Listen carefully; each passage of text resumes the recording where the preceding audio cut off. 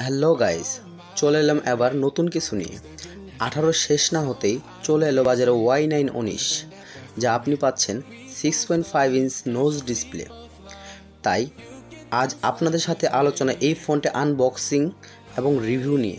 আর সেই সাথে আছি আল আমিন খান, একে নাইনটি সেভেন লাইভ টিভির পক্ষ থেকে। তবে যাই হোক, কথা আমাদের একটাই।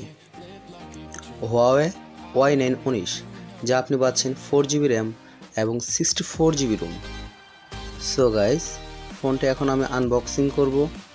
দেখি ওয়াই নাইন থেকে ওয়াই নাইন উনিশে আমরা কী কী আপডেট পেয়েছি, তা আজ আমি আপনাদের সাথে তুলে ধরবো।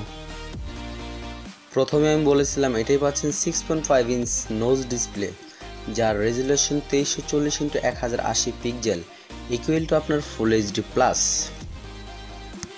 তাছাড়া ফোনটির সাথে পাচ্ছেন সিম জ্যাকশন টুল যা আপনার সিম আনলক করতে সাহায্য করবে। আর সেই সাথে আপনাদেরকে আরেকটা কথা না বললেই নয়, এটাই পাচ্ছেন ট্রিপল সিম স্লট যা আপনারা খুব সহজেই dual SIM plus SD card use করতে পারবেন। এবং সেই সাথে বক্সের ভিতরে আপনারা আরও কিছু পাচ্ছেন, যে, যেগুলো হলো রেগুলার সফট কাভার এবং সাথে আরও কিছু পাচ্ছেন যেগুলো হলো বিয়ের কাবির নাম। অনেকে আবার এগুলো প্রেমপত্র বলে থাকে।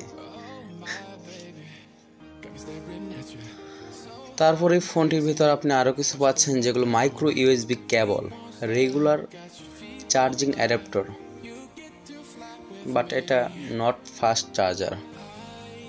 তাই অতি দুঃখের হয়ে যা, জানানো যাচ্ছে যে, এই রাক্ষসে এই বিগ ব্যাটারিটার প্যাড ভরাতে গেলে আড়াই ঘণ্টার উপরে তো টাইম লাগবেই। তবে সত্য কথা বলতে ভাই এত দামি ফোনে ভাই ফাস্ট চার্জার দেওয়ার দরকার ছিল তবে যাই হোক হেডফোনটা কিন্তু জোস। যার কারণে বাহিরের শব্দ দূষণের হাত থেকে কিছুটা হলেও রেহাই পাওয়া যাবে। তারপর আসি আমরা ফোনটির ডিজাইন এবং লুকিং নিয়ে। ফোনটির ডিজাইন এবং লুকিং ভালো লাগার মতোই। ফোনটির গ্লাস ব্যাক পার্ট এবং ফুল ভিউ নোজ ডিসপ্লে সুন্দর একটি লুক দিয়েছে। এর গ্লাস লুক দিতে গিয়ে বাদ দেওয়া হয়েছে মেটাল ব্যাগ সো এটাকে আমরা প্লাস্টিক গ্লাস ফিনিশিং ব্যাক কাভারও বলতে পারেন।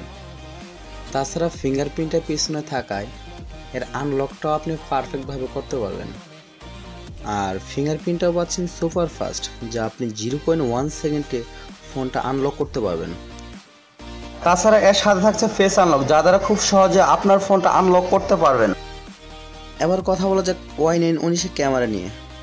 এর রিয়ারও পাচ্ছেন ডুয়েল ক্যামেরা ফ্রন্টেও পাচ্ছেন ডুয়েল ক্যামেরা রিয়ার ক্যামেরার কথা যদি বলতে যাই রিয়ারে পাচ্ছেন তেরো মেগাপিক্সেল মেইন ক্যামেরা যার অ্যাপাচার পাচ্ছেন ওয়ান পয়েন্ট এইট আর সাথে পাচ্ছেন টু মেগাপিক্সেল ডেপ সেন্সর আর ফ্রন্ট ক্যামেরার কথা যদি বলতে যাই ফ্রন্টে পাচ্ছেন ষোলো মেগাপিক্সেল সেলফি ক্যামেরা যার অ্যাপাচার পাচ্ছেন টু পয়েন্ট জিরো এবং সাথে টু মেগাপিক্সেল ডেপ সেন্সর যার কারণে ল লাইট হাইলাইট দুই লাইটে ব্যাটারি ইমেজ প্রসেস করে থাকে।